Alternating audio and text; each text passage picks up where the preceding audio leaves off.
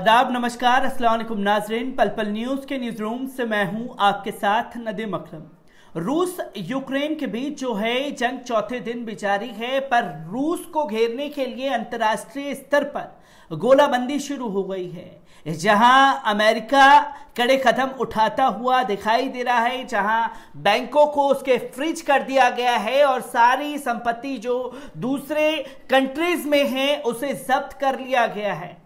और इसके बाद रूस ने भी कड़ा ऐलान कर दिया है कि जो भी देश हमारे साथ इस तरीके का व्यवहार करेगा, हम अपने देश में भी उनके साथ इसी तरीके का सुलूक करेंगे।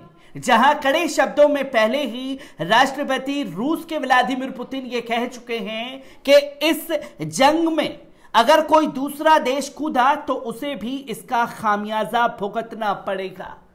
जहाँ यूएनएचसी में दूसरे दिन भी मीटिंग जारी है अंतर्राष्ट्रीय स्तर पर।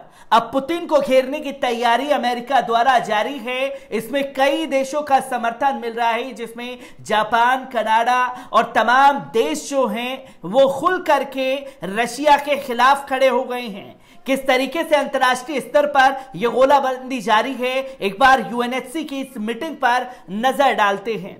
आपको बता दें कि यूक्रेन पर रूस के हमले के बाद संयुक्त राष्ट्र लगातार शांति बहाली की कोशिश कर रहा है। इसी सिलसिले में आज एक बार फिर सुरक्षा परिषद की एक बैठक बुलाई गई है। इस बैठक में संयुक्त राष्ट्र महासभा की आपात बैठक बुलाए जाने के प्रस्ताव पर वोटिंग होगी। अगर यह प्रस्ताव पास हो जाता है तो सोमवार को एक सदस्य देशों वाले संयुक्त राष्ट्र महासभा की बैठक होगी। खास बात यह है कि इस वोटिंग में सुरक्षा परिषद में पाँच स्थायी सदस्य रूस, चीन, फ्रांस, ब्रिटेन और संयुक्त राज्य अमेरिका में कोई भी अपने वीटो का प्रयोग नहीं कर सकता। राजनयिकों ने कहा है कि इस कदम के पक्ष में नौ मतों की ज़रूरत है और इसके पारित होने की संभावना है। 1950 के बाद से महासभा के केवल 10 ऐसे आपातकालीन विशेष सत्र बुलाए गए हैं। इस मीटिंग में रूस और यूक्रेन से, यूक्रेन पर किए गए हमले की निंदा का प्रस्ताव यूएनएचसी की ओर से रखा जाएगा। आपको बता दें कि यूएनएचसी ने एक मीटिंग बुलाई थी जिसमें चीन, भारत और यूएई ने हिस्सा नहीं लिया था, जबकि 11 सदस्यों ने यूएनएससी के प्रस्ताव के पक्ष में वोटिंग की थी। यूएनएस, यूएनएससी की ओर से कहा गया है कि सदस्य देशों की ओर से रूस के खिलाफ लगातार बयान दिए जा रहे हैं। ऐसे में महासभा में इसी तरह के प्रस्ताव के पक्ष में वोटिंग होने की उम्मीद है। बता दें कि अमेरिका और सहयोगी देश रूस को अंतर्राष्ट्रीय स्तर पर अलग थलग करने के लिए लगातार समर्थन की मांग कर रहे हैं। तो वहीं आपको बताते चलें कि संयुक्त राष्ट्र के प्रवक्ता ने बताया है कि संयुक्त राष्ट्र महासचिव एंटीनियो गुटारेस ने ने बीते दिन, यानी शनिवार को यूक्रेन के राष्ट्रपति व्लैंडिमिर जेलेंसिक से बात की। साथ ही उन्हें आश्वस्त किया कि वैश्विक स्तर पर यूक्रेन के लोगों की सहायता की योजना बनाई जा रही है। संयुक्त राष्ट्र के सहायता प्रमुख मार्टिन ग्रिफ्टिस ने शुक्रवार को कहा कि अगले दिन तीन महीनों में यूक्रेन में सहायता के लिए वन बिलियन से अधिक की ज़रूरत होगी, क्योंकि रूस की ओर से हमला किए जाने के बाद हज़ारों लोग बेघर हो गए हैं, जिसमें यूएनएससी में गोलाबंदी जो है रूस के लिए की जा रही है तो वहीं यूक्रेन के लिए भी वन बिलियन से अधिक डॉलर के लिए मांग की जाएगी जिसमें जो नुकसान यूक्रेन को हुआ है, उसकी पूर्ति को पूरा किया जा सके। इसी के साथ साथ आपको बता दें कि कनाडा और तमाम देशों ने रूस पर France, Germany, Italy, UK, Canada और अमेरिका ने बड़ा हमला कर दिया है। रूस लगातार यूक्रेन पर हमला कर रहा है, स्थिति बिगड़ती जा रही है। ऐसे में कई देशों ने रूस पर प्रतिबंध लगाने शुरू कर दिए हैं। इसी दिशा में रूस पर आर्थिक प्रहार करते हुए यूरोप आयोग, France, Germany, Italy, UK, Canada संयुक्त राज्य अमेरिका ने यूक्रेन पर हुए हमले के खिलाफ नई वित्तीय प्रतिबंधों को मान्यता दे दी है। इन सभी ने रूस के बैंकों को स्विफ्ट से बाहर करने पर सहमति जताई है। अमेरिकी सहित कई देश पहले भी रूस पर प्रतिबंध लगा चुके हैं। वहीं समाचार एजेंसी एफपी के अनुसार फ्रांस यूक्रेन को और सैन्य उपकरण भी देगा। फ्रांस के राष्ट्रपति इमल मैंक्रा के कार्यालय के हवाले से यह जानकारी दी है कि इस अलग जर्मनी भी, इसके अलग जर्मनी भी सैन्य मोर्चे पर यूक्रेन की मदद के लिए आगे आया है।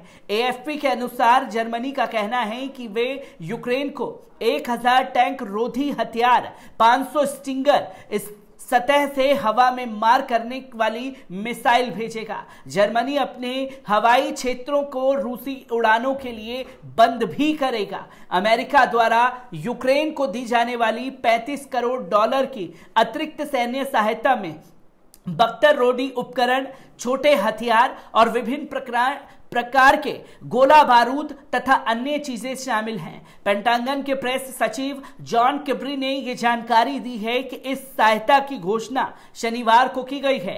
रक्षा विभाग के अन्य अधिकारी ने कहा है कि इस सहायता से जेवलिन टैंक रोधी हथियार शामिल होंगे तथा इन्हें चरणबद्ध तरीके से जल्द से जल्द यूक्रेन को मुहैया कराया जाएगा। अधिकारी के नाम उजागर नहीं करने की शर्त पर बताया गया कि यूक्रेन को पिछले कुछ दिन से सैन्य सहायता दी गई है और आगे भी इस पर विचार किया जा रहा है, जहाँ रूस को बड़ा झटका, फ्रांस, जर्मनी, इटली, कनाडा ने साफ़ तौर पर दिया है, जहाँ उनके बैंकों को फ्रीज कर दिया है और स्विफ्ट से बाहर करने की मांग की गई है।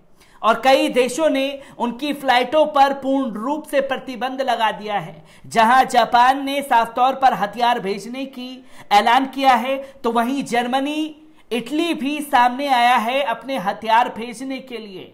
अब छोटे छोटे देश जितने भी हैं, वो यूक्रेन के साथ कंधे से कंधा मिलाकर के खड़े होते हुए दिखाई दे रहे हैं। जहाँ हथियारों से भी यूक्रेन को मदद दी जा रही है तो वहीं जंगी जहाज़ भी यूक्रेन की मदद के लिए अब भेजे जा रहे हैं। और तमाम देशों ने इस चौथे दिन के दौरान जो है, ये भी फैसला लिया है कि हम लोग जो हैं, यूक्रेन को जो होगा उसके लिए वन बिलियन डॉलर से अधिक लोगों से, दुनिया भर के देशों से चंदा लेकर के यूक्रेन की अर्थव्यवस्था को फिर से ठीक करने का काम भी करेंगे।